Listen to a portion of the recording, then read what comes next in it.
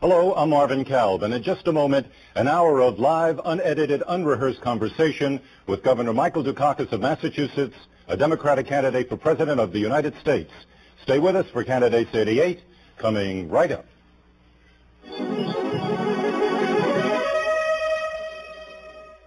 This series is made possible by a grant from the New York Stock Exchange Foundation as a public educational service.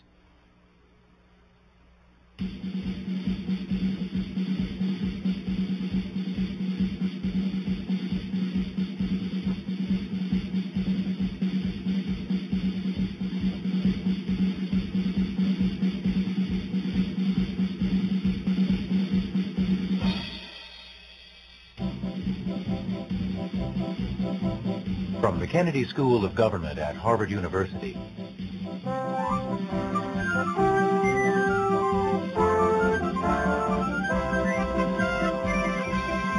Candidates 88 with Marvin Kalb. This week, a conversation with Michael Dukakis.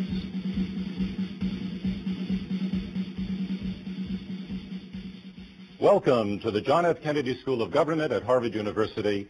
I'm Marvin Kalb, Director of the Joan Shorenstein Barone Center on the Press, Politics, and Public Policy. Among the six Democrats running for the presidency, there is one minister, one congressman, two senators, a former governor, and a governor who is still in charge of a state. That governor is Michael Dukakis, and the state is Massachusetts. We are told that Dukakis spends three days a week governing here in the state and four days a week out on the road campaigning. Now, can a candidate do both successfully? That's one question we will ask the governor, but before we do, a little bit about him. Michael Stanley Dukakis is 54 years of age. Occupation, lawyer, governor, and presidential candidate. Hometown, Brookline, Massachusetts. Family, married, three children. Education, a BA, Phi Beta Kappa from Swarthmore College, a law degree from the Harvard Law School. Military service, U.S. Army, Korea, 1955 to 57. Career, a four-term state representative, moderator of the PBS television series The Advocates, a lecturer at the John F. Kennedy School of Government, and three-term governor of Massachusetts. Let us now welcome Governor Michael Dukakis.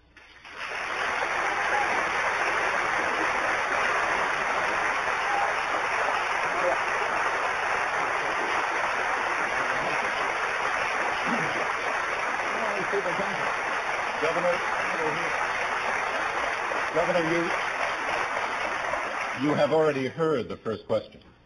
Uh, can you successfully and effectively both campaign and run a state? Marvin, if you're in your third term, if you have a very good team of people working for you and with you, if your legislature is five to one Democratic and as supportive as any legislature in the country, and if you spend a lot of your flight time during the half of the week that you are campaigning working on your governor's responsibilities, then you can do it. I guess I ask the question because if you look back in recent American history, the last three of the last four American presidents have not been in office while they were running full time for the presidency. They won. Uh, so I guess there's an obvious lesson that could be drawn there. Can you run the risk of doing both? You may fail. Well, if you fail, you fail. You still have your job as governor, and it's a good job. But uh, I think there's something troubling about the notion that you have to be out of office in order to run for the presidency. Why troubling? Because it almost puts a premium on not being there, on not making decisions, on not having to make the tough choices, and not confronting the kinds of challenges that you have to confront as president. Nobody suggested that John Kennedy leave the Senate, for example, in 1959 and 1960. In fact, uh, we'd have been shocked if anybody had. So it seems to me that if you have situation, which uh, I'm fortunate enough to have, in a state that has had a great deal of success and is doing well, then this is a very good base from which to run. And so far, I seem to be combining the two responsibilities pretty well. Uh, Governor, the centerpiece of uh, your campaign seems to be that you would like to transplant what you have called the Massachusetts miracle from this state to the other 49. Uh, what makes I don't you want to transplant it. I want to leave it here. But You I want to leave it here and then... I want to grow more of those flowers elsewhere. Okay, fair enough. Uh, what makes you think you can do that?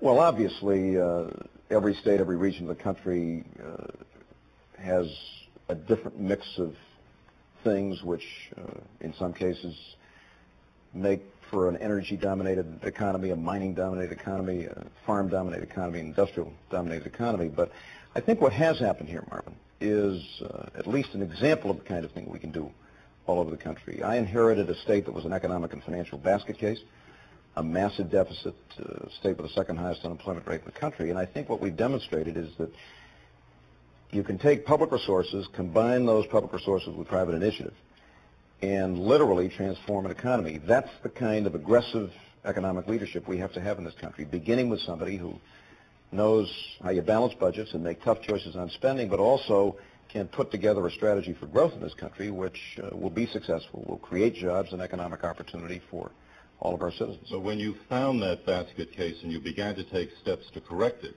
you were voted out of office the next time well, around. that's always a risk you run. Uh, I think with the benefit of hindsight and a certain amount of experience, I might have done things a little differently. And when I came back in in 1983 and inherited another deficit and a state where uh, one-third of its communities had double-digit unemployment, I think I did things better and more effectively, in part because of the experience I had in my first term. Okay, now you have claimed credit for the Massachusetts miracle. You've done it again In part. this evening In with part. us. Okay, but a number But- of your let me- former... Let me say I'm this. Uh, obviously, it isn't just one person or one thing that has made the difference here, and it won't be one person or one thing that will make the difference not only in dealing with this massive federal budget deficit, but in putting together a strong and, and vibrant economic future for this country. But every team has to have a quarterback. Somebody's got to call the signals and throw the ball. Uh, you're not a successful quarterback unless they're blocking for you, unless somebody's downfield to catch your passes. But that's what a president does. That's what a governor does. But it's been teamwork in this state that has made the difference. It's been bringing business and labor and the educational community together with state government, with community leadership that has made the difference. And I think that's the same kind of leadership and the same kind of teamwork we must have nationally. Well, a number of your former colleagues here at the Kennedy School um, have questioned the job that you have done as quarterback. Uh, one of them, Robert Reich, a lecturer in public policy, says it would be a miracle if Massachusetts didn't do as well as it has. Mike Dukakis has helped at the margin. And in a special report that was done here on the state's economy, you know it, you're smiling already, Ronald Ferguson and Helen Ladd say state policy probably played at most a marginal role in producing the state's economic miracle. So on reflection, do you think that maybe some of the credit that you're reaching for and articulating may be unjustified?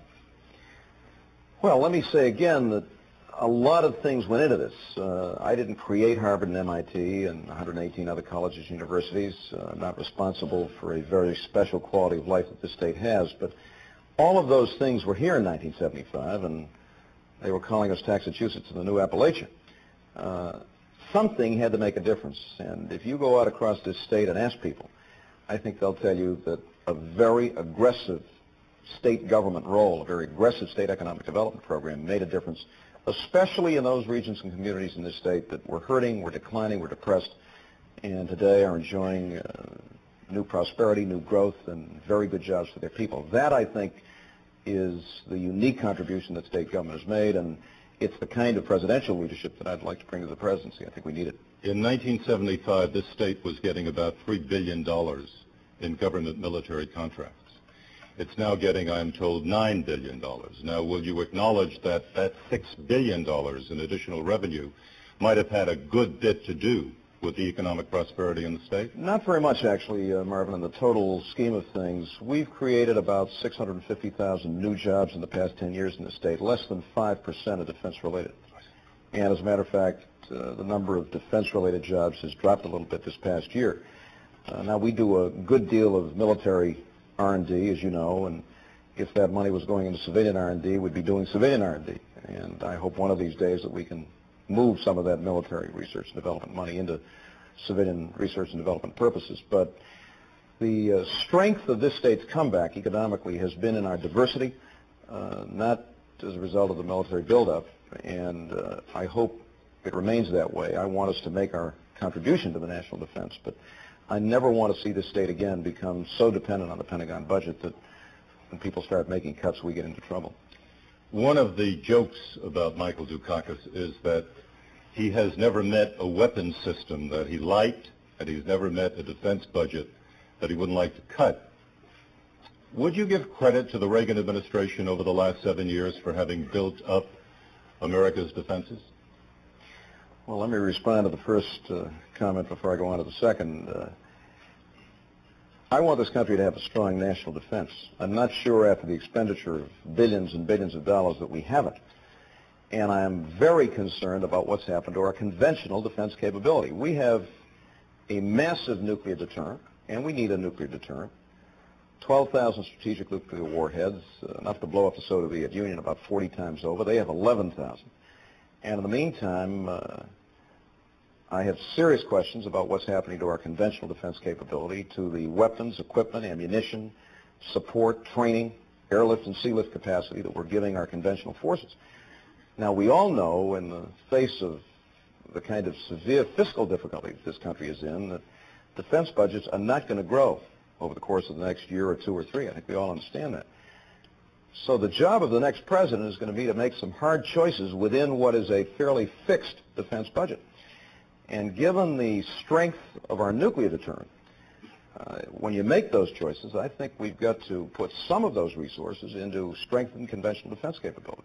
So that's where I want to put my emphasis as president, and that's what I think the country's national defense requires. But at this particular point, Governor, if you were president, would you also seek to cut back on the defense budget or keep it more or less where it is now? Well, I think at this point, if we can simply keep that defense budget stable, we'll be doing well. Obviously, if uh, we're successful in uh, negotiating with the Soviet Union, uh, deep cuts in strategic weapons and the Test Ban Treaty, and conceivably reductions in conventional forces, then maybe you can cut that budget. But just to keep the defense budget stable, Marvin, is going to require some significant cuts in weapon systems. Uh, I'd cut Star Wars back to where it was before the president announced this initiative in 1983. I think it's a fantasy, and I don't think it uh, is worth the expenditure of money that uh, is involved. In, in Can any I interrupt you when you say things like that? I, it jumps into my mind, and I'm sorry. Sorry. But what make? How do you know it's a fantasy? because uh, based on the information I have and on uh, analyses done by people whose judgment I respect, uh, I think it is highly unlikely that this system will ever work. And in any event, testing it and deploying it is illegal under the ABM treaty. And I don't believe that this country ought to be engaging in unlawful activity, particularly under a treaty which we pushed on the Russians and which was our initiative. But I wouldn't do Star Wars. Uh, I wouldn't do two $18 billion supercarriers. Uh, I wouldn't spend $50 billion on a Midgetman missile. I wouldn't spend hundreds of millions of dollars on a three-hour space plane from Washington to Tokyo. I think these are things which uh, are neither necessary nor desirable, particularly when there are serious questions about our conventional defense capability, and we simply aren't putting the resources we need into that, and that's something which I think ought to be a priority. I want to go back to my question that I started the series with. Do you give any credit to the Reagan administration for building up America's defenses in the 80s? I think our uh, forces are probably uh, somewhat stronger. Um, I'm impressed, for example, that uh, the qualifications, the pay, the training of our fighting forces is better, and I think we're getting a more qualified, uh, a better recruit than we did seven or eight years ago. I'd like to build on that and expand on it. Um, but uh, I am also very concerned about a Pentagon which today, as you know, is in chaos. Uh, an outgoing Secretary of Defense who refused to accept the fact that that budget was not going to increase, and an incoming Secretary of Defense who has acknowledged that he has a massive job to do to get that place back in shape, to manage it, and to get some value for our defense dollar. Why do you think the Russians have returned, uh, one, to the negotiating table, two, to accepting the President's 1981 proposal on a zero option on the medium-range missiles in Europe, if it were not for the uh, significant military buildup of the United States during that time? That may have played some role, but I think the reason Mr. Gorbachev is at the negotiating table uh, is because the Soviet Union as a society is in very deep trouble. Uh, it's a closed society. It's a society that's failing. It's a society whose economy has stagnated for the past 10 years, uh, very serious social problems, health problems. Uh, non-Russian ethnic groups comprise a majority in the Soviet Union for the first time since the Bolshevik Revolution. Uh, I think what you have in Gorbachev is, is new leadership which is less ideological, more pragmatic, and which understands that if they continue to devote 16% of their GNP to the military, that they're going to become a second or third-rate economic power. That's what I think really has brought him to the table. Uh, I don't deny that uh, our military buildup has probably added to that, but I think it's uh, very serious domestic problems in the Soviet Union which has brought forth this new leadership and new leadership which seems to be significantly different from what we've had in the past. Governor, in one of your uh, position papers on arms control, it is said, we have a shared interest, we and the Russians, I assume, in doing all we can to discourage either side from being tempted to launch a first nuclear strike, unquote. Now, the Russians have already said publicly that they will not be the first to launch a nuclear strike. Would a Dukakis administration make a similar pledge? No. Why? I would pledge no early first use, but I don't see how you can have a credible nuclear deterrent and make that commitment, especially when Russian conventional forces in Eastern Europe and in the Soviet Union far outbalance uh, Western conventional forces out of the NATO alliance. Governor, obviously one of the biggest problems you'd have as president would be the manner in which you dealt with the Soviet Union. It is the only country in the world that can inflict mortal damage on this Right. one. Do you feel that you have uh, a sufficiently good grounding, a sufficiently good understanding about the reality of the Soviet Union, its leadership, its people, economy? Yes, I think I do. Obviously, if one were president, one would have access to even more information, more knowledge, more intelligence, but uh, I've been a student of foreign policy all my life, even though uh, my experience has been at the state and local level. Uh, I must say, uh, I think what's happening these days in the Soviet Union is uh, intriguing, to put it mildly. Uh, obviously, the winds of change are sweeping through the Soviet Union. Uh, where it's going to end, whether Gorbachev himself can survive, what the significance of the Yeltsin affair is. I mean, all of these things are fascinating, and uh, I'm not sure any of us at this point can tell, but I don't think anyone looking at the Soviet Union over the past uh, two or three years uh, can help but come to the conclusion that something is different. And I would dearly love to be the president who pursues the opportunity for uh, what conceivably could be a very significant breakthrough uh, in arms control, arms reduction, and in our relationship uh, with the Soviet Union. Have you yourself ever met a Soviet leader? Have you ever met Gorbachev No. or uh, Brezhnev, Khrushchev, any the recent None of the of the, Of the top people. of the top leaders. Have you yourself ever spent any significant amount of time in the Soviet In the Union? Soviet Union, no. But I'm not sure that that's necessary uh, No, I to be a just wanted to international leader. No. Um, who are your advisors on Soviet affairs? A few of them are in the room here, but I'm not sure if they'd want to be identified. uh, one of the great advantages, Marvin, of being the governor of Massachusetts is that there is a State Department in exile, a Defense Department in exile, and an Arms Control and Disarmament Agency in exile within about 10 miles of the State House in Boston. So I'm uh, in a position to draw on an awful lot of people, not just in this institution, which I happen to be very close to, but in institutions uh, throughout the metropolitan area. I also have a very good group of advisors in Washington and others around the country.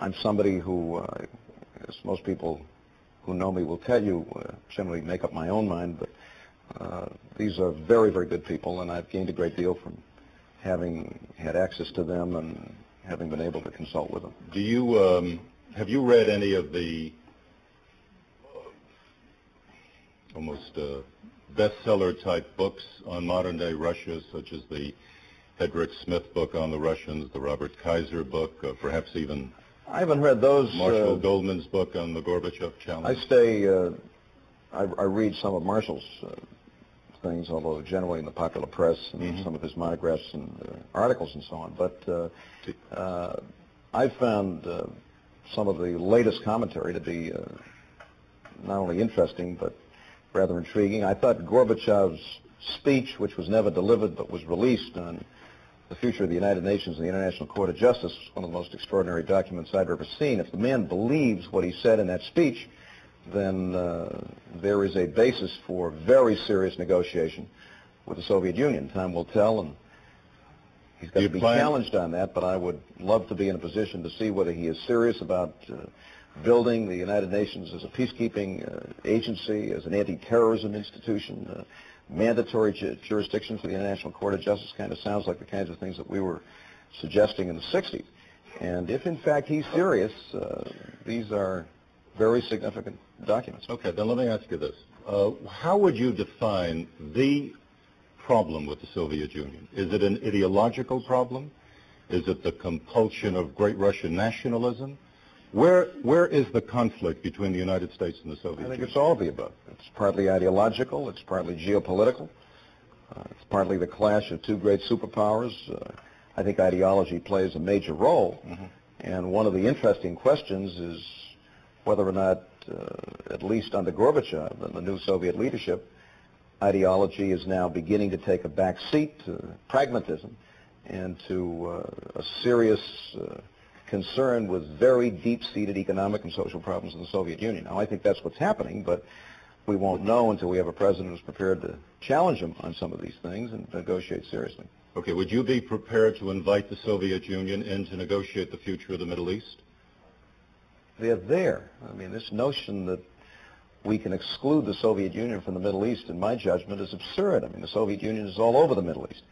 So And, that you would uh, invite them into an international conference? not a question, question of inviting them in. I think, for example, that a multilateral peacekeeping force in the Persian Gulf uh, might be one way to end that conflict. I'm not talking about the Persian Gulf. I'm talking about the Arab-Israeli problem now. Would you invite them in as a participant, as the United States, um, in a negotiated solution of the Middle East problem?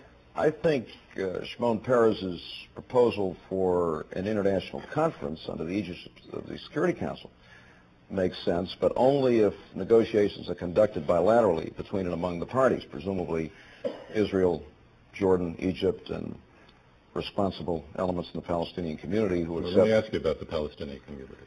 You have also been quoted as saying that there can be peace in the Middle East without a homeland for the Palestinians. Right. Give us your vision of what a Middle East peace would look like, and where in that peace is there room for three to four million Palestinians?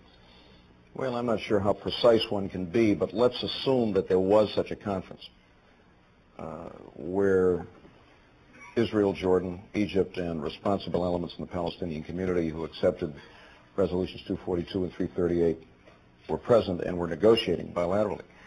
I think it's conceivable that, uh, consistent with the Camp David Accords, it might be possible to come up with a plan in which there was uh, an autonomous region under the jurisdiction of Jordan, which uh, was available, if you will, for Palestinians, was a place where Palestinians could live, and You think that would be a formula for peace? it's conceivable that it would be. Uh, there's no way that I or you or any of us can uh, make that judgment, but my sense is that there might be a basis for that in accordance with the Camp David Accords and with what at that time we hoped, I think, would be uh, progress toward that kind of a settlement. Now, only the nations and negotiators in question can make that judgment, and at this point, as you know, uh, Israel itself uh, has been unable to develop the political consensus to even join in such a conference. But in my judgment, uh, such a conference would be a constructive step forward. You have been described as a, a truly rational man, highly intelligent, and uh, a man who I'm sure my children would agree with you on the question of rationality. all right, but who uh, sees a problem and feels that there has to be a solution. Sometimes. I'm less rational than I used to be, put it that way. Oh, I see. Okay. In that case, in the Middle East, for example, there are a number of people who feel that there is not. You may have a set of problems there for which there are no solutions. That may be. That may be. Uh, I don't rule that out. Uh, maybe one of those things where uh, it will be years before there can be a settlement. Uh, I'm encouraged by the fact that Egypt, Jordan, uh, even some of the other Arab nations that have just come out of this latest conference uh, seem to be adopting a somewhat more moderate stance. Now, that at least may give us a ray of hope that it's possible to come up with a solution which is consistent with the Camp David Accords and what we hope we were achieving then, uh, but there's no way of telling. And, and this kind of a settlement is not going to be imposed from on high. This is something that has to be worked out by these nations and by the parties to these negotiations. Let's switch to Central America, and I appreciate that I'm going to ask you a hypothetical question, but it has been speculated about for several years now. If Nicaragua were to suddenly find itself in possession of sophisticated Soviet hardware, like a jet fighter, like a missile uh, that could hit a neighbor, would you as president be prepared to use American military power to stop that kind of buildup? Yes. I would do No so as, question jo- as John Kennedy did in the case of the Cuban Missile Crisis. On the other hand, I see no evidence that that's happening. And as a matter of fact, uh, all of the information we have indicates that the Soviet Union has no interest in that and has enough, enough problems back home without getting involved in, in Nicaragua. I think the uh, Arias plan is the best hope for peace and for the economic and social reconstruction of Central America we've had in a long time. And I would like to see the United States getting enthusiastically behind that plan. As you know, that's not happening. We have the anomalous situation of the Speaker of the House acting as the Secretary of State of the United States pro tem because there is such an enormous vacuum in, in Washington. But I, uh, I think the Arias plan is where we should be. I think we should be supporting it enthusiastically. Uh, and if we did, as Arias himself said when he was here in Boston not too long ago, uh, it would succeed. Western Europe. For the last uh, oh, couple of decades now, the United States has maintained a force of about 325,000 troops, most of them in West Germany. Right. Would you be prepared as president to begin a withdrawal of American forces from No, particularly if the INF agreement is signed and ratified. I, I would be opposed to withdrawing or reducing the U.S. commitment in Western Europe. It seems to me that if, if that agreement is signed and if it's ratified and if uh, intermediate and short-range missiles are taken out of Western Europe, uh, then there's an even stronger case to be made for maintaining the U.S. commitment to NATO and the Western Europe. Let me switch to another subject, namely back at home and, and politics for a moment. Uh, let's assume you get the nomination, you've got to select a vice president. Would you give serious consideration to a woman? Sure. But let me say- No. Um, but let me say this, and I really haven't thought about it. I've got all I can do to go out there and win this nomination. But let me say this. Um, the single most important criterion for selecting a running mate, far more important than politics or region or anything else, is whether or not that person, if God forbid something happens to the president, can be a first-rate president. Everything else pales by comparison. That's where you start. Now, if you find a person or persons who clearly meet that criterion, then where they come from, who they are, do they provide uh, additional strength to the ticket and to the administration if you're elected, those things are, are relevant. But Are you open to the selection of a black as a vice Sure. president, Jesse Sure. Jackson as a vice president, I wouldn't rule anybody out. including Jackson? I wouldn't rule anybody out. Or in. There's, or, was the in with reference to Jackson? No? No. To anybody. All right. There's a school of thought, you've heard it before, that a Democrat is going to have an awfully hard time winning next year. Do you share that concern? No, as a matter of fact, uh, shame on us if we lose, given the economic mess and the managerial mess and some unbelievably bad foreign policy decisions we've had over the course of the past seven years. On the other hand, it isn't going to be handed to us in a silver platter. And since I believe that the issue of jobs and economic growth will be the single most important issue in this campaign, the Democratic nominee had better be somebody who is not only strongly committed to jobs and economic opportunity for the people of this country, but has a track record and credibility on those issues. I think that's one of the strengths I bring to this campaign. But that's the Democratic Party's stock and trade, and that's where we are, and that's where we've got to be, and, and that's the message that we have to communicate to the American people. If we do, then a Democrat is going to be the next president. I want to ask you also about the impact of television on your campaigning, on everybody's campaigning for that matter. In this room, if I'm not mistaken, in the early 70s, you were doing that PBS program, The Advocates, Daniel Hall and here. and here. Time to time. Okay. I guess not here. Maybe this place wasn't. Has here. the has the experience that you picked up doing those kind of programs been an asset to you in running for the presidency? Yes. In what way? Tell us. Well, I think. Why is it so important that you be on a first name basis with a camera? You've been in the business a long time. But I'm not running. You are. You still have your union card, and I still have mine. I think when you have an opportunity to do uh, what you've done for years and what I did for a few years, you're just a lot more comfortable in front of that camera.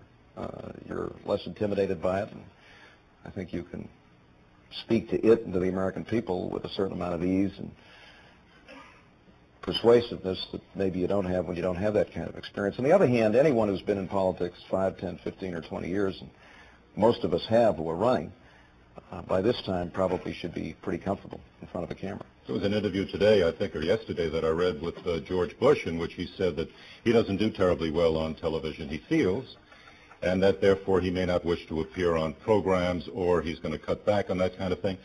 And he has certainly been there for a long time, too. So there is something special about the relationship that an individual has with that camera. Is it that powerful a force in American politics? It's a powerful force. It's not everything.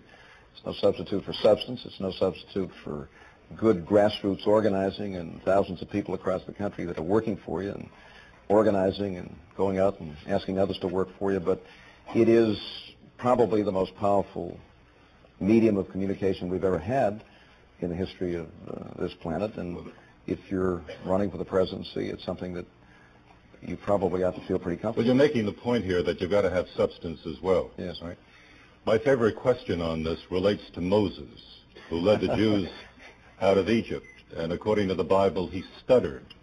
Now, if there had been television then, could he have succeeded as a great figure? The waters would never have parted. The waters would never have parted. It is that powerful. It is today. Now, I, I think it can be exaggerated. Uh, we've had a media presidency for seven years, which is beginning to crumble because there isn't much substance there. But uh, uh, if you're uh, if you're somebody who, who has substance to you and, and also can communicate effectively uh, via television, uh, I think that's an extra plus. Governor, we're at that point now where I stop asking the questions. The audience begins to ask the questions, and I know three people here who are going to be asking questions. Uh, I don't know what they're going to ask. I don't know who else is going to ask, but if you want to, go over to the microphones now.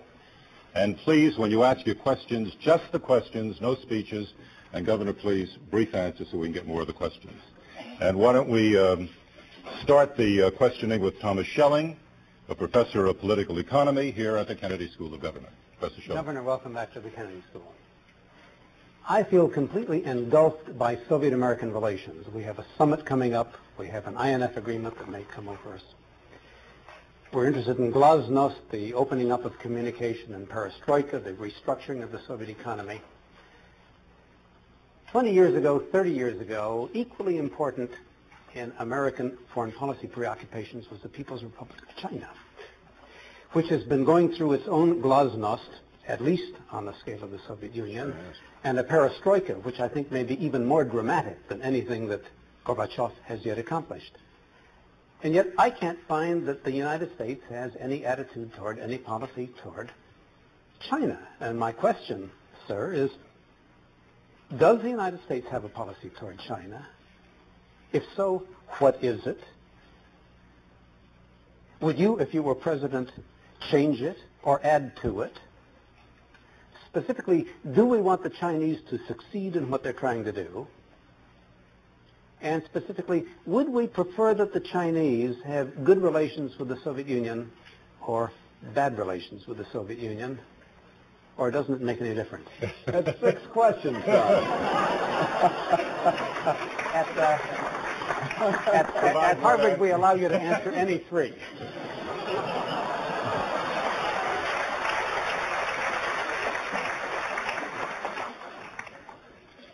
I'll answer three if you help my wife to stop smoking. This man is an apostle of anti-nicotine in our society. Governor, answer the question. Yeah, I think we have a policy which has been uh, a fairly bipartisan one, actually, Tom, going back to the Nixon opening, if you will, which is uh, to try to develop and maintain good relations with China, to encourage this movement toward reform, to encourage good trade relations. Uh, this state alone has got a very uh, strong and expanding relationship with Guangdong province, which is a province of 70 million people. And I've been there leading trade missions. They've been back, uh, and that's part of a much larger picture. And uh, in general, I think uh, even in this administration, uh, which oftentimes is so obsessively ideological, there's been uh, a substantial amount of good, pragmatic, uh, bipartisan uh, policy on, on China. I don't think any of us are happy with silkworm missiles being shipped to Iran and being used to add to the conflict and exacerbate the conflict in the Persian Gulf, and I gather that the Chinese have now stopped that or have said that they're going to stop it. Um, I'm somebody who believes that generally speaking, uh, good relations between and among nations generally is a plus. So I don't have a problem with the notion of uh, better relations between the Soviet Union and China, just so long as it doesn't involve some kind of an alliance which is then turned against us or other free nations. But I think generally speaking, uh, uh, better relations between us and China and, and, improving relations between China and its neighbors, whoever they may be, uh, is a good thing. And I think we ought to encourage that so long as the motives for such improving relations are sound. Let's uh, now go to the balcony, please. Thank you. Governor, a number of issues concerning the status of women will come before the Supreme Court, including sex discrimination, abortion, adoption, and issues affecting women in the workplace. Are you willing to pledge now to search for a qualified woman for the U.S. Supreme Court if a vacancy occurs during your presidency?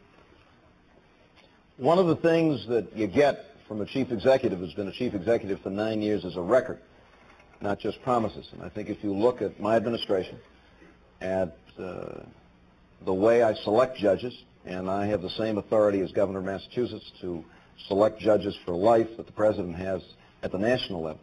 And I don't even need Senate confirmation. Once my nominations go to the Executive Council and they're approved, these appointments become lifetime appointments. I think what you'll see is a record uh, of the appointment of very good people. And by the way, people who I've met before I appoint them.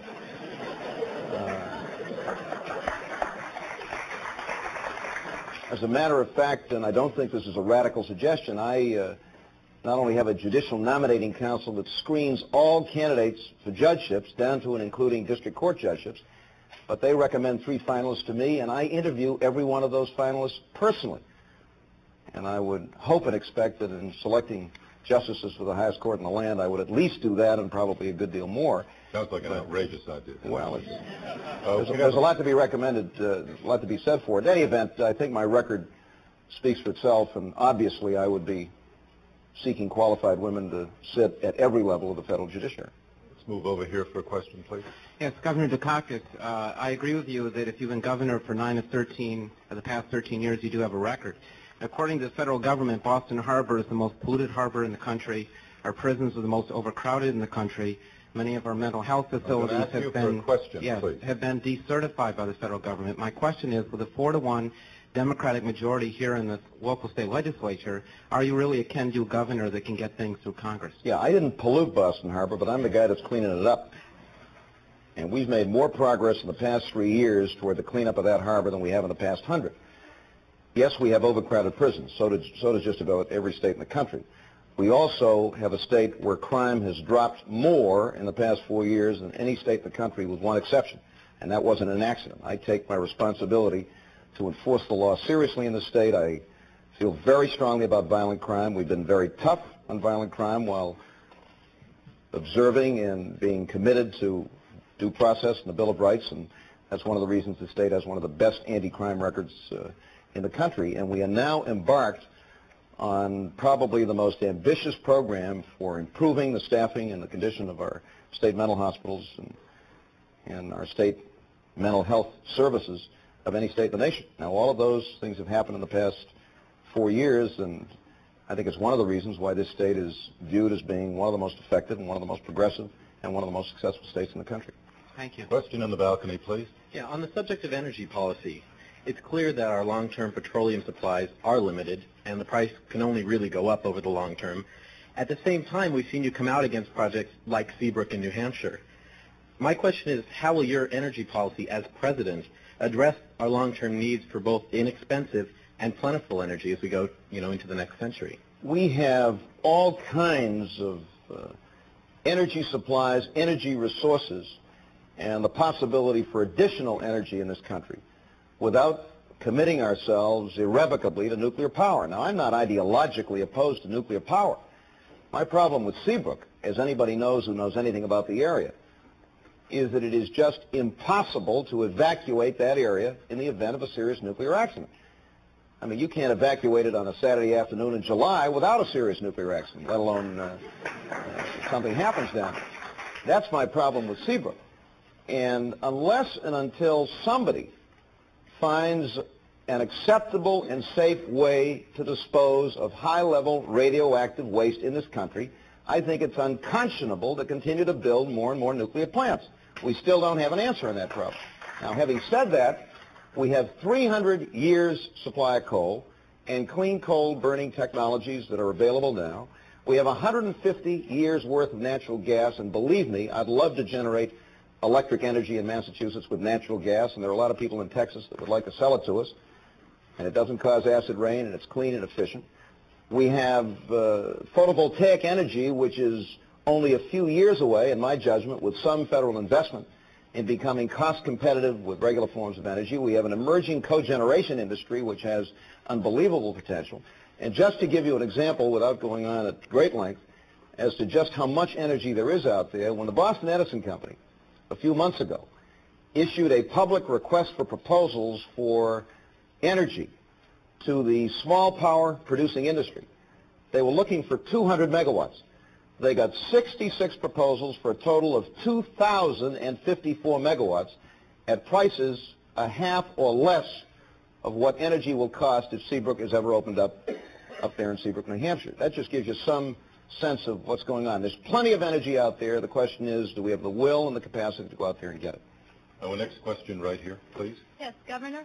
Currently, there are five uh, voluntary national service bills pending in Congress meaning encouraging students to serve their community. Many times they're linked to tuition aid.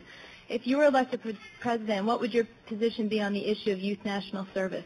I am not for mandatory service. I think that's a bad idea. I think it's almost a contradiction in terms. Uh, you can't mandate people to serve in the kind of way and, and for the things that you and I, I think would like uh, young people to to serve. But I am very anxious to try to bring back some of the spirit of the early 60s. John Kennedy had an enormous impact on many of us who were just coming out of uh, college and graduate school at that time, uh, literally transformed the environment for public service in this country, especially for young people.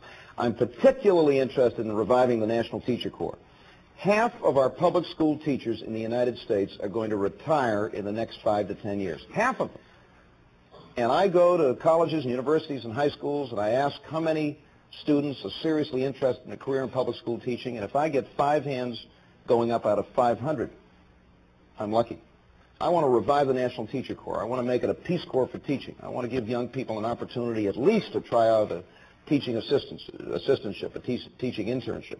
That's just one example of the kind of voluntary national service I would like to encourage, and I think we could do a lot more at very modest cost. Uh, so I'd, I'd like very much to do that, and, and I hope I can.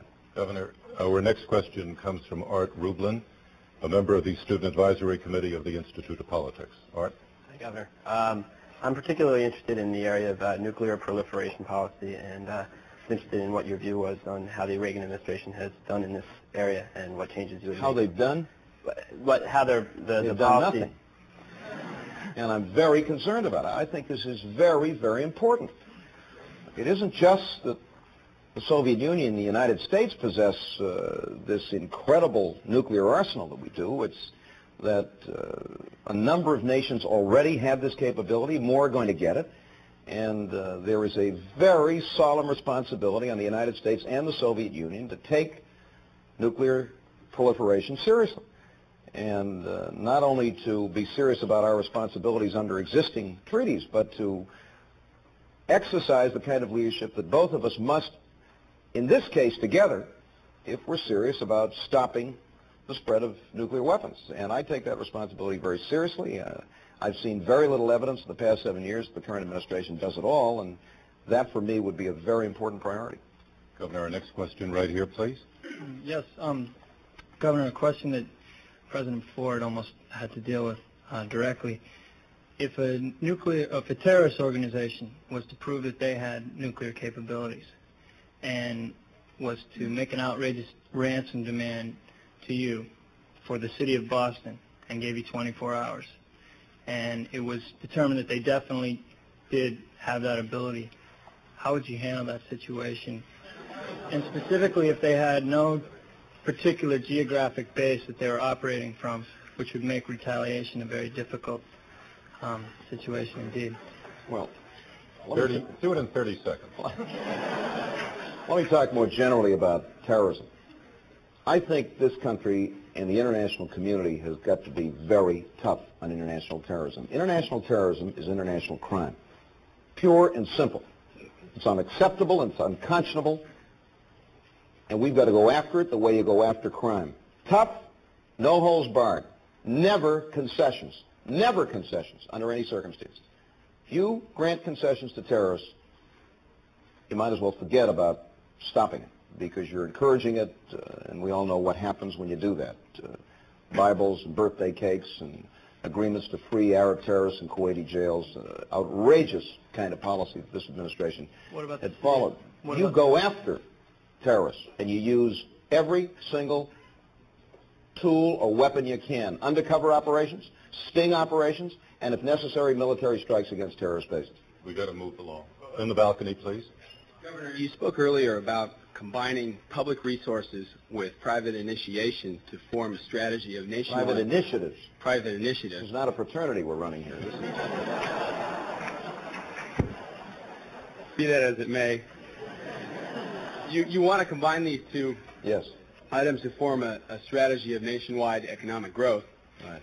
Can you elaborate a little more specifically on the strategy of nationwide economic growth, uh, specifically with regard to the role of the public and private sectors, Sure. and whether or not this strategy will involve a tax increase?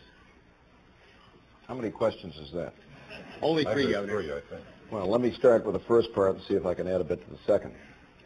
Um, yes, I think we need strong and aggressive economic leadership in the White House beginning in 1989. That means getting our fiscal house in order by making tough choices on spending, by putting in place and leading an aggressive strategy for economic growth and job creation, by going out and getting new revenue, beginning with $110 billion a year in federal taxes owed that aren't being paid in this country, and I would go out and try to collect every dime I could of that money. Can't rule out new taxes. No serious candidate for the presidency should, but that's where you begin. And by getting interest rates down, and every point reduction in interest saves you another $15 billion in the federal deficit. That's the first step. But we have to do much more than that. You don't elect a president just to be a bookkeeper and a bill collector. We've got to invest in needed public infrastructure, in good schools and good skills, in technology, and in regional development. And I would do all of those things because that's the way you create economic growth, that's the way you get the rate of growth up, and that's the way you create good jobs for people in this country. Would you raise Governor, taxes? next question. Just a moment. I Mr. might, but not until I had gone out and tried to collect every single dime I could of the $110 billion in taxes owed that aren't being paid in this country. Tax compliance is now at 81% in this country. 81%. That's unacceptable. It's unconscionable. If we simply increase the rate of compliance by five percentage points, that's $35 billion in additional revenue annually, three times what they- they've been arguing about on Capitol Hill for the past month. That's where I begin. Question right here, please. Governor Dukakis, I'm a public school teacher from the state of Oregon, and I'd like to know what your priority would be as president in the area of funding public education, particularly in the area of compensatory education to the disadvantaged and educational opportunities for the handicapped, both of which have been cut by the Reagan administration. Well, I'm going to try to get those resources back, although I'm not going to kid you, and I don't think any serious candidate for the presidency can. The next president is not going to have billions and billions of dollars to spend in his first year or two as president. We're looking at massive federal budget deficits and uh, a major job in getting that deficit down. That's why my first and most important educational priority as president would be good teaching and good teachers. And that is why I would create a national fund for teacher excellence. I've suggested a quarter of a billion dollars. That's about one-fifteenth of Star Wars, which would provide scholarships for young people willing to make a commitment to teaching, would revive the National Teacher Corps, would create a network of field centers of teaching and learning for veteran teachers like yourself could go take a sabbatical, refresh, revive, do research, come back to teaching. That's where I'd begin. Now, over time, as we get our fiscal act together, then I think we can begin to commit some resources to compensatory education, to education for the handicapped. But I would expect the states to participate in that. I think it's very important that state governments assume and carry out their responsibility for the education of their youngsters, and so I would expect the states to be an important part of that. Governor, our next question comes from the balcony, please. Thank you. Governor, I'm cutting class to be able to ask you a question. Um, it's a question about You're human... kidding me. It's right in there. It's a question about I human never, I never values. taught a class in here at 9 o'clock at night. Go ahead, I'm sorry. It's a question about human values. Yes. It happened before I arrived in the state, but I understand from a song that I've heard that uh, there was a gay individual that uh, was perfectly qualified to have adopted a child, did so, and then lost the child solely because of his uh, sexual preference, sexual affiliation. And I understood further from the song that you had appointed a Blue Ribbon Commission to study the matter. I went to Swarthmore also, and what I'd like to know is that the kind of values that you learned at Swarthmore? Well, you got the story wrong to begin with, so let me begin with that. I'm somebody who uh, abhors discrimination against anybody. Race, on the basis of race or ethnicity or sexual preference or gender. And that's why I'm working very hard right now to see if we can get a civil rights bill through my legislature which will prohibit discrimination on the basis of sexual preference. On the other hand, there is no civil right to be a foster parent, and this involved foster care, not adoption. And we have adopted in this Commonwealth a policy in which relatives and uh, two-parent families with other children with prior parenting experience are preferred when we place youngsters in foster care. On the other hand, there are many situations in which there are not relatives or what I will call a traditional family with other youngsters, and so in those circumstances, we will place a foster child in another setting. When I was presented with legislation by my legislature to absolutely prohibit the placement of foster children in gay or lesbian households, I vetoed it. Next question right here, please. Yes, Governor, I've heard before that the best way to measure someone's character is to look at the people that they admire. And I was just wondering, if you were to choose three former presidents since the turn of this century that you most admire, who would they be, and just a brief sentence on each of them why you chose them? Franklin Roosevelt, Harry Truman, and John Kennedy. Uh, FDR because he had extraordinary uh, confidence and leadership ability and was able to pick this country up when it was as down as it's ever been and move us forward and inspire people to do that. Harry Truman because he told it like it was and didn't mince words and was straight and honest with the American people, even though it got him into an awful lot of difficult and hot political water. And John Kennedy, I guess, because John Kennedy was the inspiration uh, for me and for literally millions of young people in the 50s and early 60s. Uh, and without that man and his inspiration, I suspect that many of us never would have gone into political life in the first place. Uh, all too short a career, but somebody who could reach out to young people and uh, inspire us and encourage us to go into public service in a way that I'm not sure any president ever has. Um, our last questioner, uh, Richard Zeckhauser, professor of political economy here at the Kennedy School of Government. Professor? Governor. Hi, Dick. Um, I wanted to ask you about your strong and aggressive economic policy, um, and in particular how strong and aggressive it might be. Uh, the studies that Marvin Kalb cited earlier, which were somewhat skeptical of the contribution of the Dukakis administration, did give you credit or blame for reallocating industry in Massachusetts. Mm-hmm. And I'm wondering what you think the federal government's role is in reallocating industry um, across the United States and also in identifying uh, successful and unsuccessful industry. I only have one question, but I have the second part of it, which is to what extent the Massachusetts miracle is replicable if you believe, as many of us in this room do, that part of our success is drawing extraordinary people from around the country. I think the people who have spoken tonight have identified themselves from being around the country, drawing in a disproportionate share of federal money, which is what our outstanding congressional delegation and our outstanding governor have managed uh, to do, and our uh, universities and high-tech industry, which is also unique. And not everybody can borrow from everybody else. Thank you. Where do you want me to begin? How much time do I have? Well, let me say this, Dick. Uh, there's no question that there's a confluence of extraordinary resources and talent in this state, but let's remember that it was here in 1975 and we were Taxachusetts in the new Appalachia. So something must have happened to change it. And I would suggest to you that it was aggressive economic leadership and the investment of public resources in combination with private initiative that made the difference. That's what we've got to do nationally. We've got to take public resources and invest them in needed public infrastructure, in good schools and good training for our workers, in technology, so that we can create research centers, uh, centers that spawn new industry and new technologies, not just in Massachusetts and in California, but all over the country in association with some great research universities. And investment in regional development, and I mean aggressive regional development in those regions and states that are hurting and hurting badly. Now, that doesn't involve, in my mind, a reallocation, but it does involve creating incentives so that expanding companies will expand into these regions that need jobs and need employment uh, with some help from the federal government in partnership with state governments. I wouldn't let state governments off the hook for one minute. I would expect them to step up to the plate and put some resources in there as well. But it's that kind of investment in regional development which I think can make a difference. If we do those things, I think we'll have a strong and vibrant economy that creates good jobs for the people of this country. Governor, I have a frivolous final question in 30 seconds. I found out today that ballroom dancing is the most popular show on public television. Do you dance? Yes. You do? When was the last time you took your wife to ballroom dancing?